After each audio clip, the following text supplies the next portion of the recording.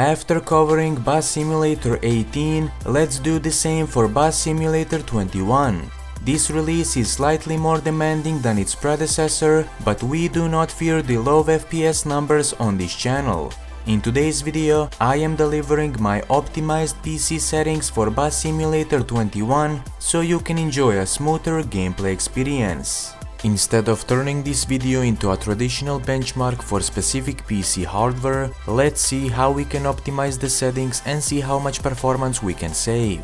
Before we proceed with the optimization process, uh, download and install uh, LowSpecs Experience. The download link for LowSpecs Experience is available in the video description. LowSpecs Experience is a PC video game optimization solution that I developed uh, that allows you to optimize your favorite PC games for maximum performance. So first of all, start the installation process for the LowSpecs Experience. Once the installation is complete, start it from the newly created desktop shortcut.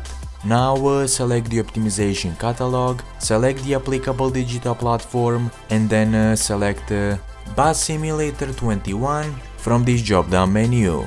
Once done, uh, press the load the optimization package. LowSpecs Experience will automatically detect a supported game version on your system. Now press OK and the optimization control panel will load.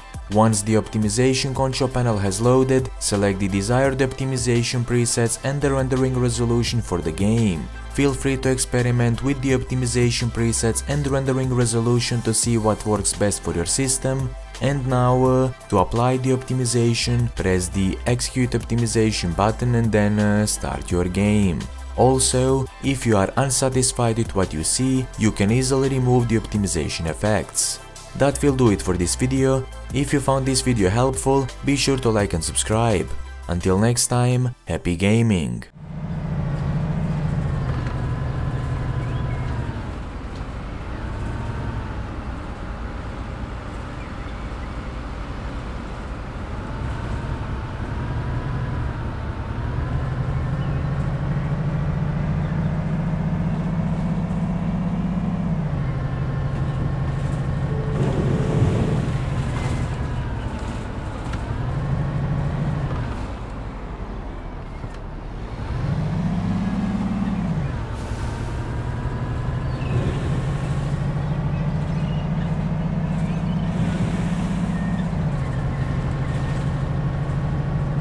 Oh, the first stop is coming up already. You see the markings?